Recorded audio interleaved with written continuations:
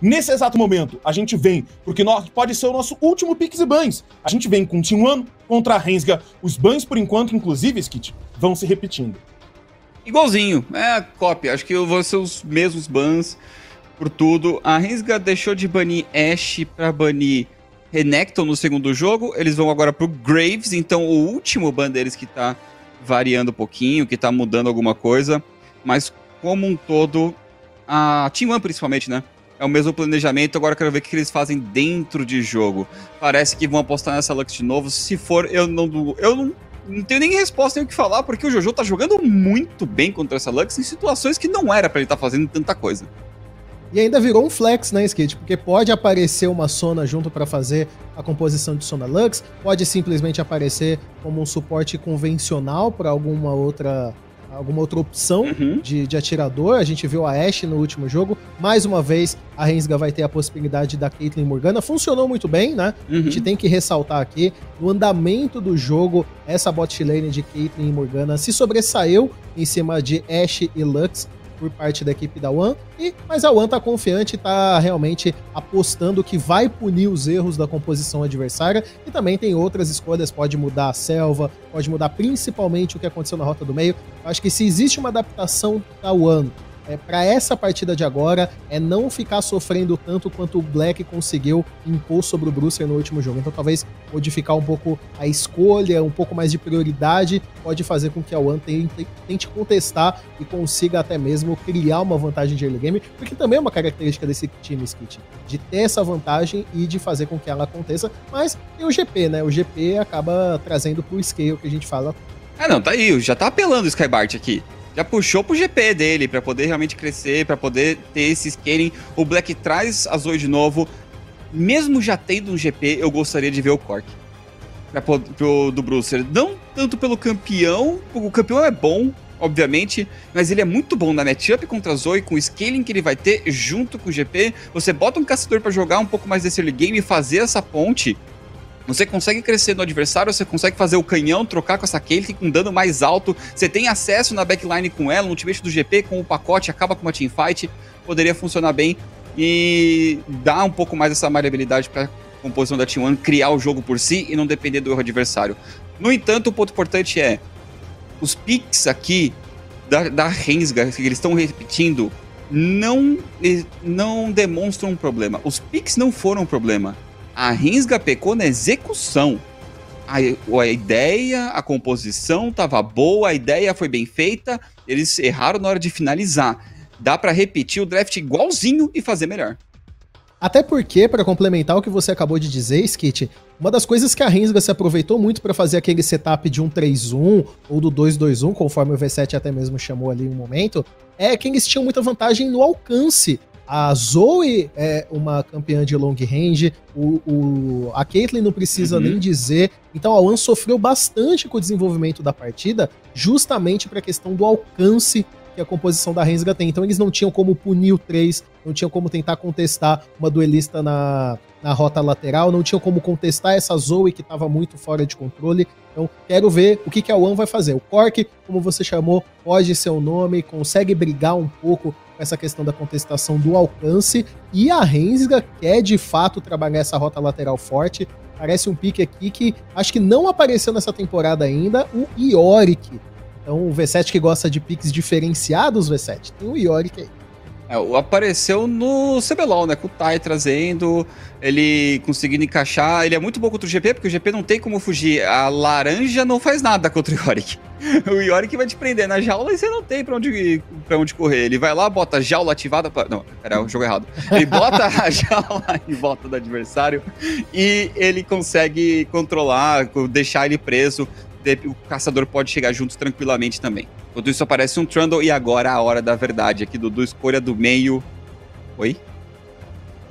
What? Olha, interessante. Speed. É, sim, é, é, essa bot lane de. Eles vão tentar contestar de fato. Ah, me lembro aqui de uma Cloud9 de muitos anos atrás, Skit, que adorava utilizar essa composição de Ash Zyra. Era muito potencial. E circuitão é isso. Circuitão é magia Circuitão é tirar coisa da, da manga, mesmo carta Eita. da manga, pra mostrar. E aí, mais um Caim aparecendo aqui por parte da equipe da Rensga. Então, vão querer trabalhar nessa agressividade, vão querer montar de novo o setup bem poderoso nas rotas. O Caim faz uma sombra incrível, não é aqui um trocadilho com nenhuma das habilidades dele. Ele faz uma sombra absurda quando um time consegue um setup de rotas laterais. Ainda mais se ele fizer talvez o Caim azul, o Caim assassino, ele roda o mapa em segundos, né? Então eu, eu acho legal o pessoal trazer esses caçadores mais assassinos. O pessoal tá se inspirando bastante no Kayle nesses últimos dias, né? Tivemos Evelyn no CBLOL, agora Caim no CD, num jogo que vale a vida da. O Erasus tá chamando a responsabilidade demais por aqui, V7. Olha, eu vou falar o seguinte: esse jogo é o tipo de jogo que eu gosto de ver. Porque eu, eu já falei, eu gosto dos picks diferentes. Vocês já chamaram atenção, a gente conversou sobre isso. A Rensga errou na execução. Se esse Caim for um pique de conforto do Erasus e ele chegar destruindo é. dentro do jogo, eu diria que numa situação extremista, aonde você tá no desespero, você tá naquele momento que você fala, mano, pelo amor de Deus, a gente precisa dessa vitória.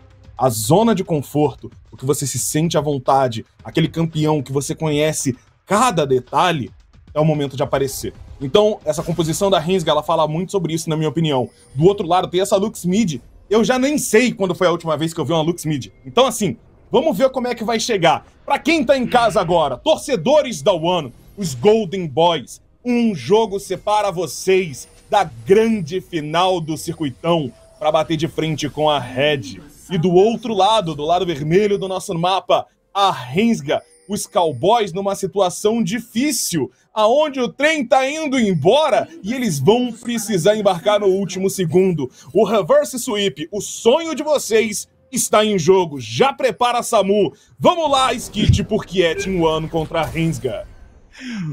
E também o Erasmus, ele, como você falou, é um pique de conforto. É algo que ele gosta, que ele já trouxe competitivamente, que ele gostava no solo kill também. E quero ver como que ele vai se sair, como vai ser esse early game. Ele veio realmente pra snowballar aqui no, no Caim. Ele incorporou a solo kill e falou: vamos, vamos no conforto total para ver se dá certo. E é interessante, né? Numa série como essa, uma vitória rápida, como tem um potencial a equipe da Rensga, então um, um, um, snowball, um jogo rápido, pode resetar bastante de toda a questão que estávamos falando do mindset, de depois de vir dessas duas derrotas nessa MD5. Então é bem importante uma vitória. Se conseguir uma vitória bem consistente aqui, reseta bastante a mentalidade da Rensga para a sequência dessa série. E olha, eu vou até adicionar uma coisa que a gente tem que ficar de olho para essa partida muito importante. Essa Lux indo agora para a rota do meio significa que o combo da Lux com a centelha final, ele não vai fazer mais cosquinhas, vai ser bem diferente agora é final. Agora realmente acaba com o adversário.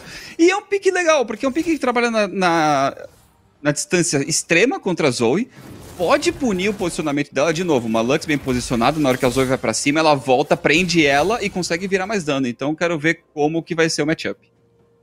Jojo vai sair um pouco da rota, vai ganhando visão justamente do buff azul. O Erasus está lá na rota do topo, eles já tiveram visão, já rolou ping pra cima dele. Acho que a minha grande curiosidade com esse Yorick é ver como é que ele vai aparecer no jogo. A gente conhece um Yorick à frente no jogo quanto ele splita o jogo. Porque ele coloca ali a Maiden e, e abraço, né? Sim, sim. Coloca a dama junto, não tem quem pare, um 2v1 na rota. E, e o Eraso já tá por lá também para criar vantagem. Ele sabe que a, a importância dessa parte superior do mapa. Skybash não tem para onde ir, já foi, tá lá, a vantagem é essa, e o nome é First Blood na mão do Eraso. Mais uma vez o early game, então parece que a Rensga resetou bem depois do último jogo. Ok, deu errado, gente. A gente errou. É, vamos resetar para o próximo jogo, próximo momento. Estão fazendo justamente isso.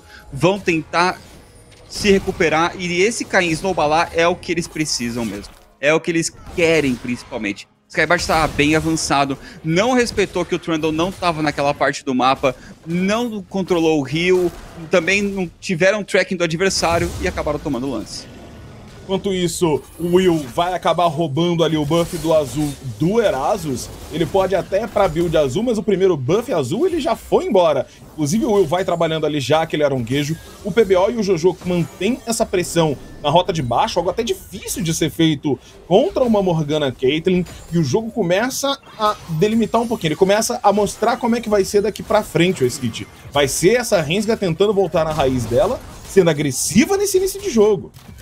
É que o dano da Zyra é muito mais frequente do que o escudo negro pode responder. Não é nem tanto pelo controle, mas é o dano constante das plantinhas com o Q que vai atrapalhando, que vai pokeando o adversário. Daí você pode ainda bater o controle e você força a Morgana a ter que tomar uma decisão, mas depois eu falo com o Eraso.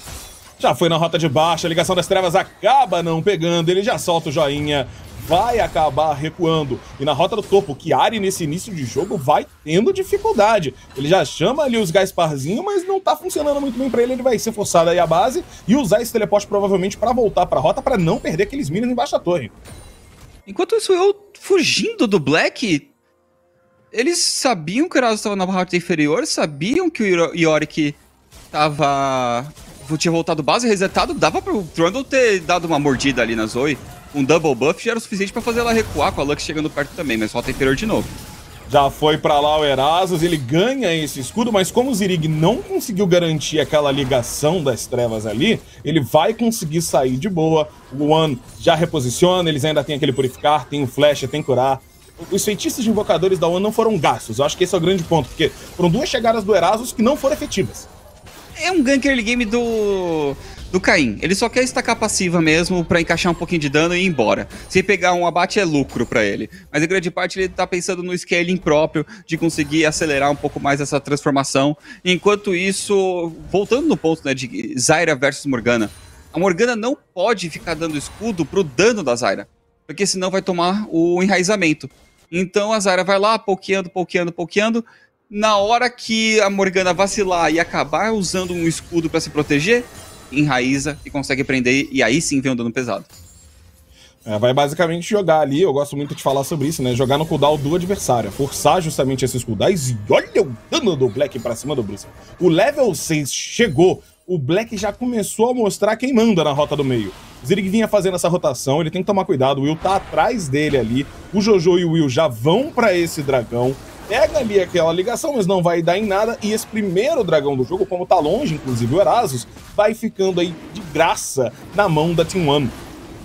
É, vamos levar o objetivo. A rota do meio agora, o Brucer, ele tem que gastar o E pra farmar, beleza, ok. Mas o Q tem que ficar na resposta da Zoe. Na hora que ela usar o, o ultimate pra ir pra cima, se você tiver, se estiver posicionado num ponto onde não tenha mais, né, de um minion na frente, ele consegue responder e prender realmente a Zoe pra encaixar o dano. Se bobear, encaixar até o que com a centelha final, daí sim a gente vai ver um burst alto.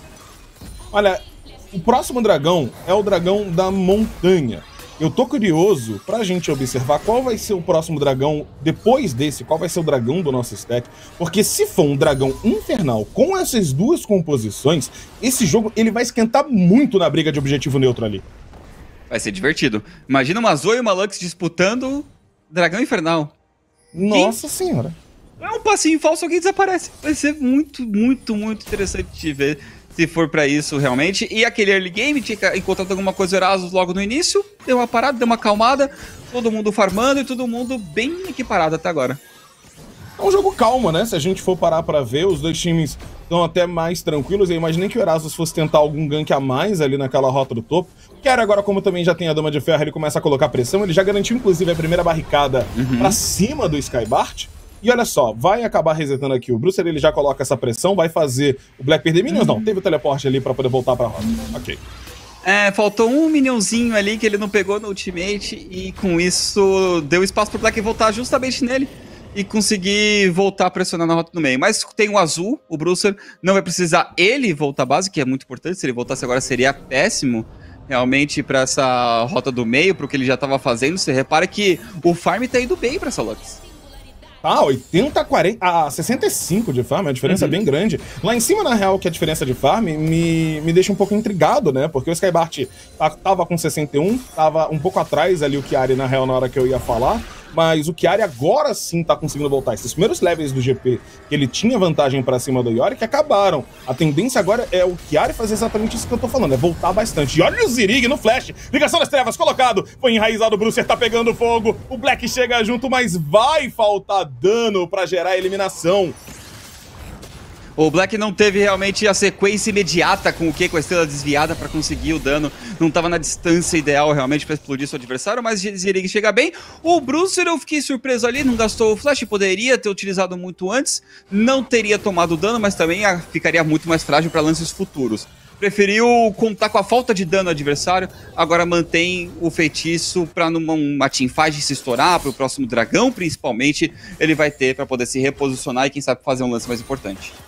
Olha, a minha curiosidade agora é para onde o Erasmus vai fazer esse setup com o Arauto, porque ele pode fazer um setup bom para Caitlyn, ele pode soltar o Black no jogo, na rota do meio, e a outra opção seria acelerar o Chiari. E aí, acelerando o Chiari, o Skybart tá com GP, é mais para late game. E o Chiari, com esse Ori, consegue trabalhar muito bem esse split. A gente vê de novo, ele manda o Gasparzinho, ele manda a Dama de Ferro. Enquanto isso, as barricadas e a torre vão descendo. Assim, V7 é 110% o Chiari. A único, o único lugar que você não usa esse arauto pro Chiari é se você utilizar na rota do meio na hora do dragão para servir de distração para conseguir levar esse objetivo. Fora isso, é New York. Ok, vamos ver então se o Erasmus vai seguir a call. Ele tá indo base agora, a gente deve ver daqui a pouco ele voltando. E olha o Skybart como é que vai sendo punido. É muito chato jogar contra essa dama. Exatamente por isso que ele voltou no farm. Porque chega num ponto que o GP tem que respeitar demais. Ele tem que recuar, ele tem que jogar longe, jogar basicamente do barril, porque o Yorick prende ele na jaula, vira o dano e vai ganhando a troca. Ouso dizer que. É, eu concordo com o Skit em relação ao Arauto, mas eu ouso dizer que nem precisa soltar esse Arauto lá. Daqui a pouco o Chiari já deve conseguir a destruição dessa torre. E olha que é realmente muito chato nessa questão do push. O Eraso já tá fazendo o setup, vão garantir a torre aqui de uma vez. De fato, habilitar o Chiari nesse jogo é o ponto-chave. Desde cedo, já criar essa pressão na rota lateral, quebrar um pouco dessa formação da One e se aproveitar do alcance que eles têm de tão forte no momento. Olha só, o As na manga, a vida do PBO foi nula, teve um pilar do Will pra cima do Baidek, mas tem a ult do Zirig, ligação também pegando, Cupcake no pé vai dificultando a chegada da One. Lá em cima, mesmo com o Skybart tentando fazer alguma coisa, o Erasmus de sombra, eles conseguem levar essa torre. A segunda torre também vai tomar uma cabeçada. Vai dificultar a vida do Skybart se cair essa daqui, Skit. E aí por isso que ele gasta tudo para poder defender. Gasta o ultimate, consegue limpar, né? Um GP consegue limpar relativamente fácil os minions, principalmente quando tem esse ult.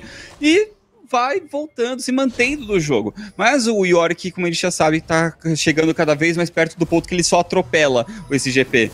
Ele vai voltar à base agora, se tiver. Não sei se ele já tem a força da Trindade, se ele guardou tudo isso. Imagino que é possível. É 5, ainda mais com a primeira torre. Então, força da Trindade já consegue mais esse recurso e já chega no ponto que o Skybart talvez tenha que guivar mais uma torre também. Pelo menos a Team One vai levar mais objetivo neutro, vai levar esse segundo dragão que atrasa esse mid-game da Rensga.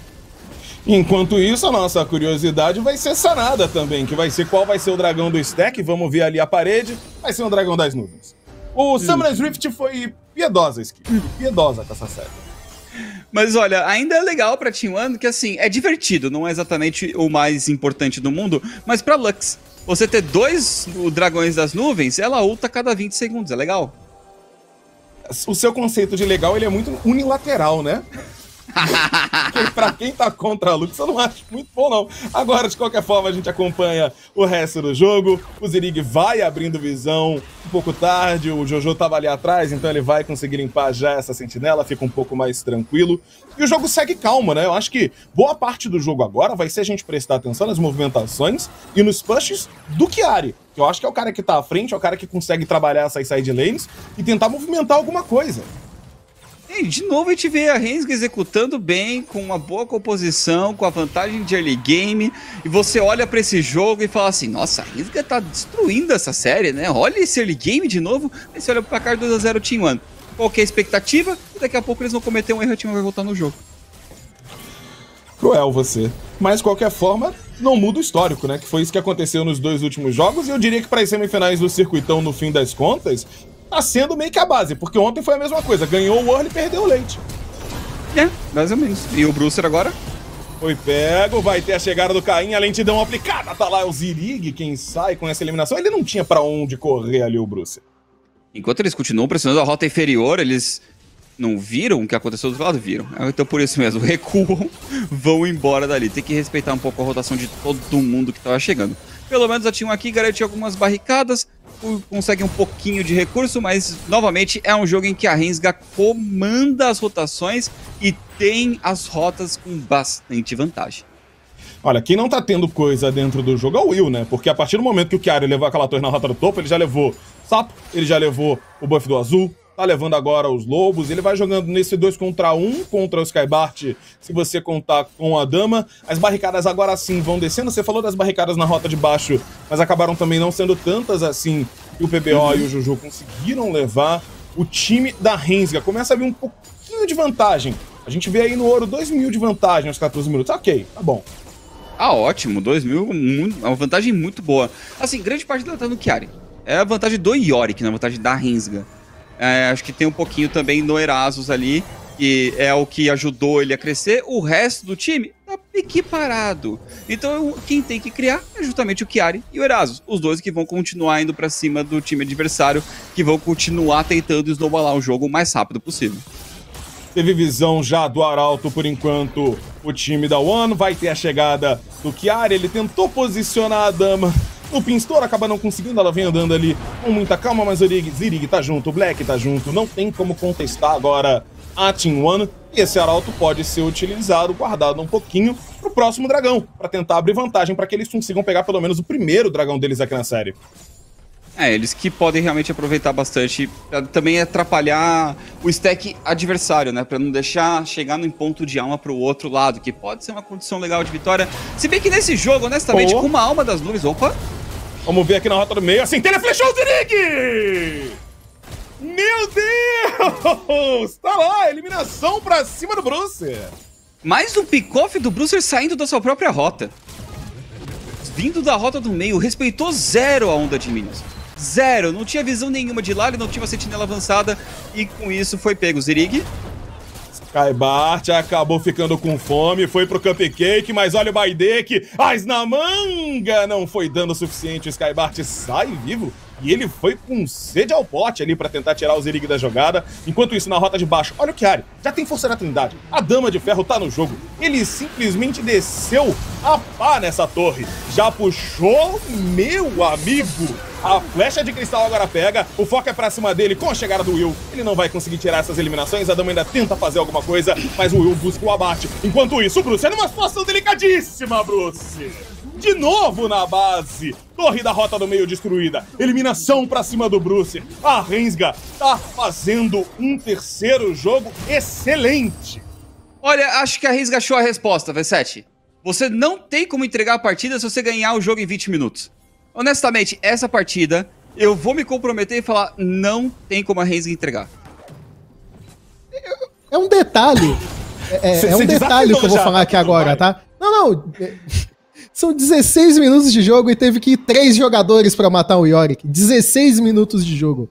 Se isso não é um cenário de snowball, eu não sei o que é mais snowball. Porque a One teve que mandar três jogadores para lidar com o Chiari, quase eliminou ainda o Jojo naquela jogada e com isso abriu espaço no, na, no meio, abriu espaço no topo. Os dois arautos deram duas cabeçadas a favor da equipe da Rensga. Gruntar tá sorrindo de orelha a orelha nesse momento. Então, é um snowball, aquilo que eu falei. Se tinha um jogo para resetar a mentalidade, para resetar e voltar para a série, é um jogo rápido. Mas agora eu não consigo deixar de não ter medo dessa zicada do Skit e ver se eles não vão mais uma vez cometer um erro gigante e acabar cedendo vantagem para o Olha, a BBO teve que usar o Purificar aqui em cima. Enquanto isso, do outro lado, o Erasmus vai garantir esse primeiro dragão das nuvens a favor do time da Renzer. Afinal de contas, a One tem dois dragões ali, eles podem ceder esse primeiro dragão sem problemas. E eu queria fazer um comunicado aí, ô Rensga, depois vai chegar um e-mail falando que eu não tenho nada a ver com essa ziga do Skit.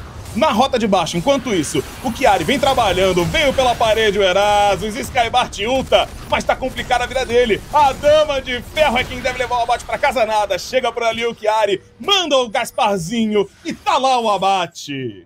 Mas olha, o Skybart jogou muito, quase que ele levou os dois. O Eraso saiu sem vida, o Chiari também saiu sem vida. Mostrou que ele consegue se defender sim debaixo da torre. Ele tem resposta, tem como brigar. Enquanto isso, na parte superior. Ah, os Minions aqui vão embora, o Black já fez questão, ele ainda colocou para dormir ali o Will. Ia ser, de... ia, ia ser difícil para eles engajarem. O problema é a rota de baixo, porque o Chiari ficou vivo, você falou que foi por pouco, beleza, foi por pouco, mas o Chiari agora tá nessa torre com a força da Trindade, a Dama tancando, e vários fantasminhas levando ela para casa e garantindo mais vantagem, mais ouro na mão dele. Assim, foi por pouco, é que o resto do time não fez nada. Absolutamente nada com isso. Não não tinha, não tinha muito o que fazer, né? Eles estavam tentando pressionar a rota do topo, onde o Black segurou sozinho contra três pessoas. Então, um cenário difícil por todos os lados para Team One. Mais uma vez um jogo passivo, mais uma vez um jogo em que eles ficam esperando o adversário. Dessa vez não tem o Will com campeão agressivo para poder compensar isso e ele encontrar algumas brechas e pelo menos parar o Erasus. É o Erasus que tá rotacionando muito, que tá achando esse jogo é uma partida que a Team One fez essa série toda, o que parece que dessa vez a Rensga vai conseguir finalizar. É, a Rensga, a Rensga veio para fazer o que a gente esperava da Rensga que a gente viu de segundo lugar. Que é a Rensga jogando bem um early, transicionando bem e fechando o jogo. Porque é isso que a gente estava esperando. Os dois primeiros jogos da série da Rensga foram atípicos. Foram jogos aonde eu comentei com vocês, eu não sei se eu falei aqui na live, mas eu comentei no intervalo certamente, que eu achei até um certo desespero deles para tentar fechar o jogo em alguns momentos, que foi o que levou a vantagem da One para eles voltarem a garantir esses dois primeiros pontos. Agora sim, a gente vê uma Rensga sóbria, uma Rensga jogando o que a Rensga joga. Inclusive, falando no que a Rensga joga, olha na rota do topo aqui, porque tem a chegada do Zirig e do Erasus, e com isso o PBO e o Jojo já falam assim, não, beleza, eu tô indo embora, não quero nem essa briga. Não tem briga. Não existe essa briga realmente. O Erasus agora com a Morgana do lado bota o escudo negro, vai para cima. Não tem muito quem pare. É o que a gente havia falado. O Dudu tava com um feeling, né, de que tava vendo o melhor time perder. Agora dá pra ver mais o early game de como eles estão conseguindo realmente emplacar. Fica ainda dúvida. Acho que depois dos dois primeiros jogos, a vantagem parece que não tem como.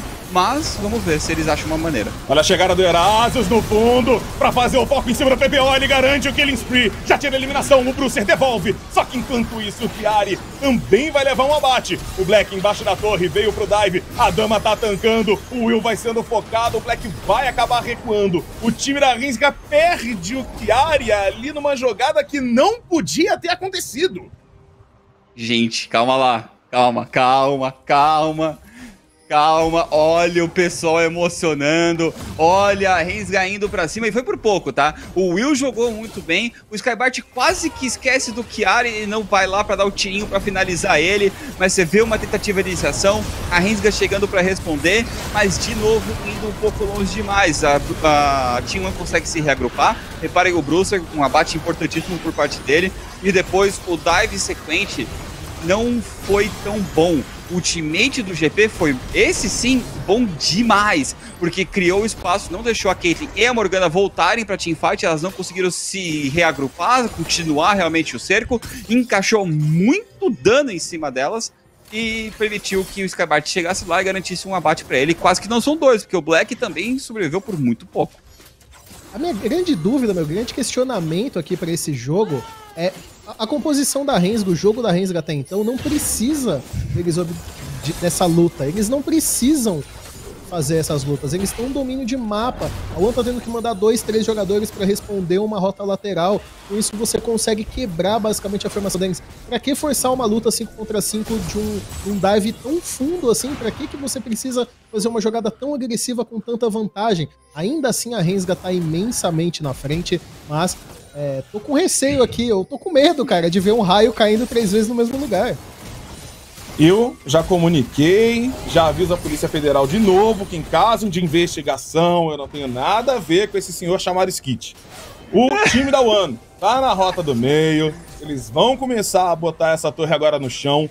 O Baron pode ser o alvo da Rensga, graças ali a essa chegada do Yorick, e dessa vez é a equipe da Rensga que vai para essa call de Baron meio ali no desespero. Você tem a flecha de cristal, atordoamento, justamente pra cima do Black, a centelha, na pontinha, não pega! O Erasus sai com esse golpear. O time da Renzi agora entra no modo Scooby-Doo. Vão recuando. A One não consegue contestar o objetivo. Vão ter que se contentar com essa torre da rota do meio e com o dragão que pelo menos coloca a Rensga em xeque para um dragão da alma. É, mas o principal é o Barão. Eles querem abrir a base, eles querem acabar com o jogo agora, eles não estão nem aí pra alma. Eles não precisam de alma para acabar com o jogo. Eles querem aproveitar esse barão e terminar a partida e conseguir levar o máximo possível. E é o que eles vão tentar fazer justamente agora. Olha, o time da One quer saber sim dessa alma. Você vê que eles estão levando ali aquele dragão. O Skybart continua na parte de baixo aqui do mapa. O Erasus vai chegar. Será que. Opa, não! Will leva para casa, garante, sai o Erasus por ali, já tira o chapéu. Mas, enquanto isso, ele vai ser visto. Os jogadores da Rensga estão fazendo o seu recuo agora. A One tá tentando voltar pra base, o Erasus está sendo chato, ele tomou o pilar, reposiciona, só que com a chegada do Baidek e do Zirig, pode complicar. O Brucer tentou o combo, ainda falta dano, não conseguiu eliminação pra cima do Zirig. Por que, que o Malux está de véu de Banshee, é a minha grande pergunta, né? Ele tá se protegendo do que ainda mais nesse jogo, com a distância que a Lux trabalha, tá se protegendo de uma bolha do soninho já tá com a proposta errada. Você tá querendo virar o dano no adversário, ser a, a, a grande defesa realmente, para ser o que vai afugentar o outro lado, tá se preocupando com a iniciação, tá se preocupando com a bolha atrasa, como você falou, deu pra ver, o dano não bate direito, o dano não encaixa tão bem. É um item forte, é um item bom, mas obviamente não, não vai afugentar tanto o outro lado. E eu tava vendo aqui, V7, voltando um pouco no lance do Barão, o Brucer e o Jojo acabaram indo para tentar fazer o dragão, enquanto o resto do time voltou. Então rolou essa desconexão entre todo mundo. E o ultimate da Lux ficou faltando justamente esses passinhos a mais que eles deram pro dragão para eliminar o Erasus. E com isso, talvez teria mudado o lance. Teria, quem sabe, virado, dar pro Will daí se jogar ali, tentar roubar, mas acabou não dando certo. A Renzga agora tem as ferramentas para tentar finalizar.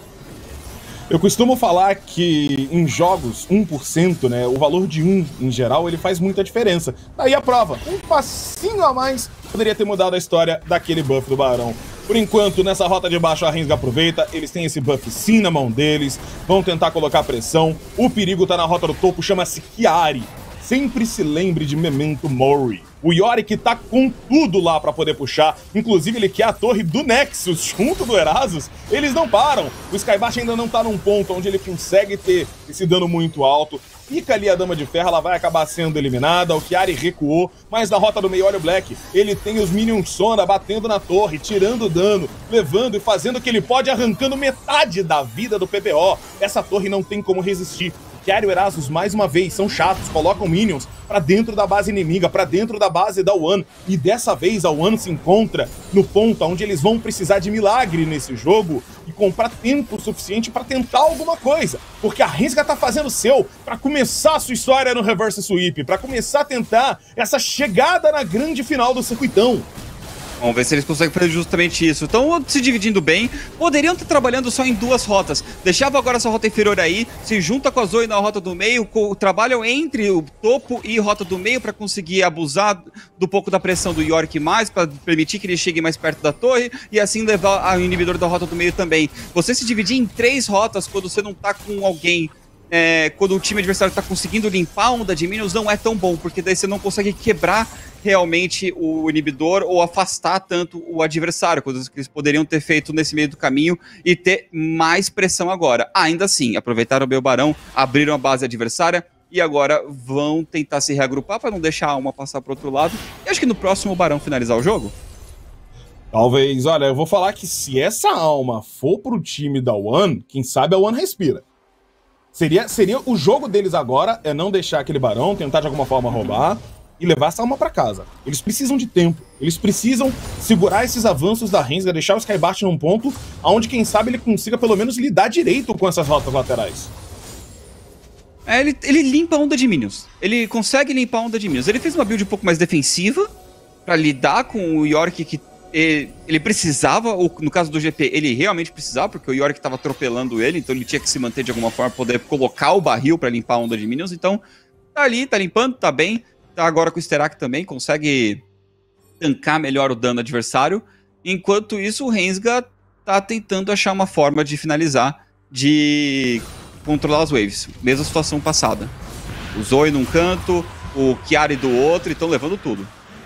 Falando no Skybart no Chiari, olha essa rota de baixo, vai ter a chegada do Will e do PBO, só que lá em cima, o Erasus e o Black vão começar a puxar para dentro da base da One. Will vai colocar o pilar, já para o Chiari. A flecha de cristal passou em branco. Não, o Will ainda ajeitou. Ele agora vai tentar fazer o foco, não consegue pegar essa lentidão do outro lado do jogo. O Erasmus tira uma eliminação pra cima do Jojo. Com esses minions agora, com quatro jogadores, eles ainda conseguem forçar, porque agora é o Chiari quem vira o jogo e não vai deixar os jogadores da One recuarem pra base de graça. A Dama de Ferro vai fazendo a sua parte. Já chama o toque musical dessa vitória, porque o time da Rensga tira essa torre voltou o inibidor da parte de cima. Com a morte do Chiari, agora sim, eles começam a recuar um pouco. Volta Brucer, volta Will, mas a base da One fica sem dois dos seus inibidores e sem uma torre do Nexus. Tá conseguindo fazer muito bem agora a Rensga, tá aproveitando que o Yorick é absurdo. É absurdo o que esse campeão consegue fazer. É realmente muito forte, ele é um V3, ele quase levou os três que estavam em cima dele para mostrar a força que é do que ele pode fazer. Vai garantir a alma agora, Team One. No entanto, não é aquela alma. E assim, é uma alma meio torta.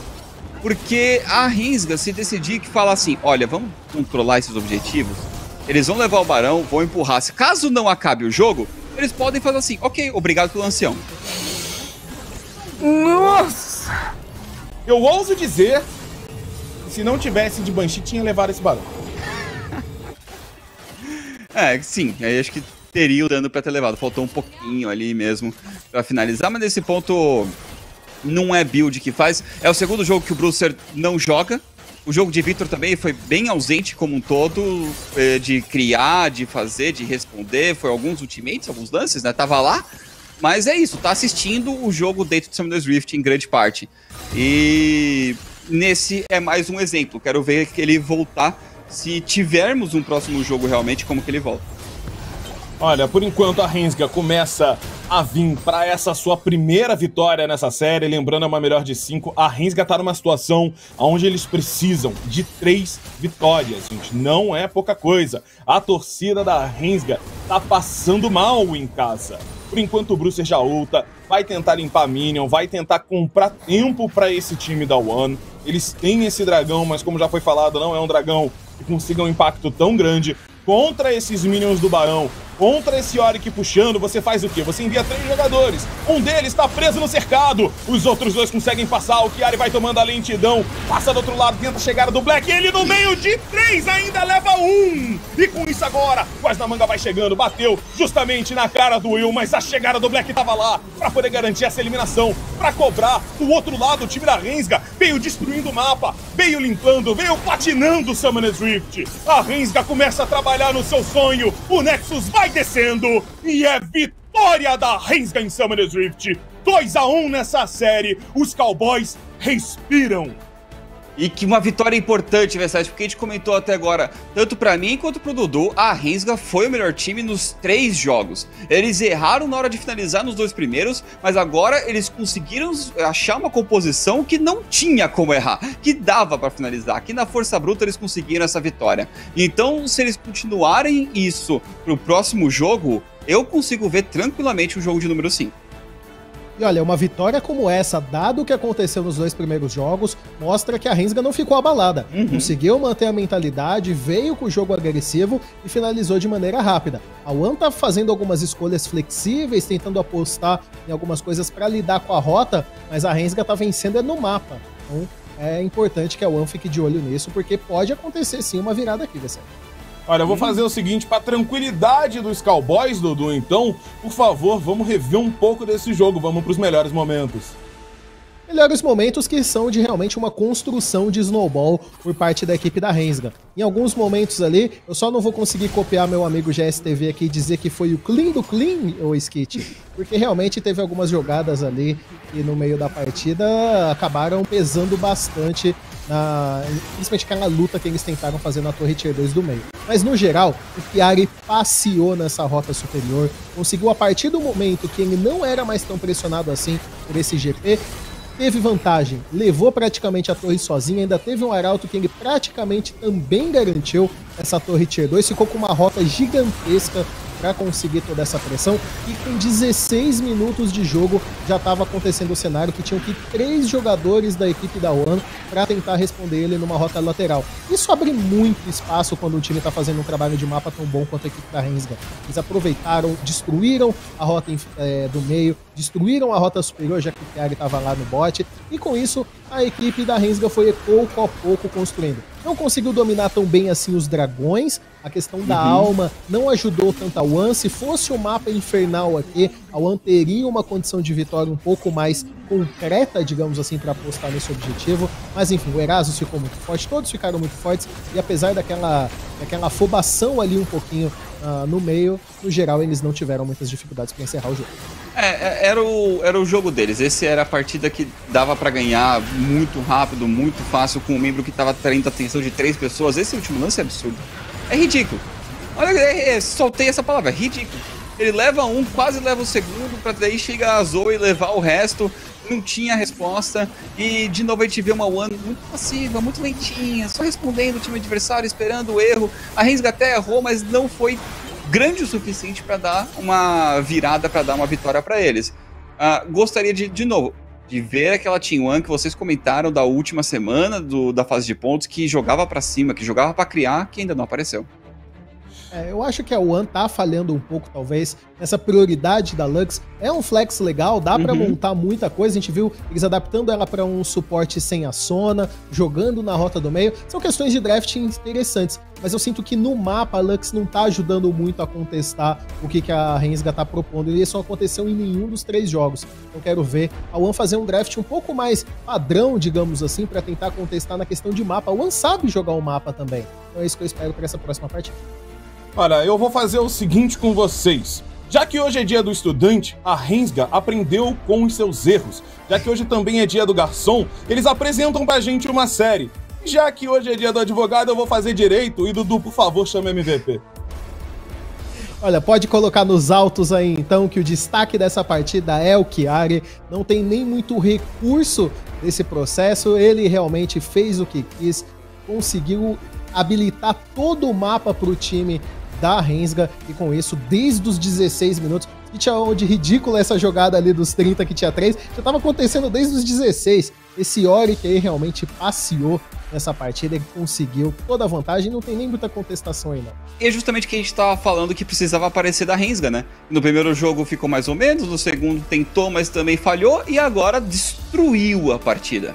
E se a Rensga continuar construindo em cima dele, podemos ter aqui uma série, uma reviravolta muito forte. E V7, tem que ficar de olho nessas escolhas da rota do topo. Uma questão que está acontecendo nessa série é que o topside, quem está saindo forte dessa disputa, essa é uma vertente não somente dessa MD5, mas de todos os confrontos de One e Rensga no campeonato. Então Skybart e Kiari aí vão chamando os holofotes dessa série. É, rapaz, e holofotes chamo eu, porque daqui a pouco pode ter o quarto jogo e último dessa série ainda. A One tá com 2 a 1 um ainda pra cima da Rensga, situação delicada. E você que tá em casa já sabe, não sai daí, porque o circuitão volta já já.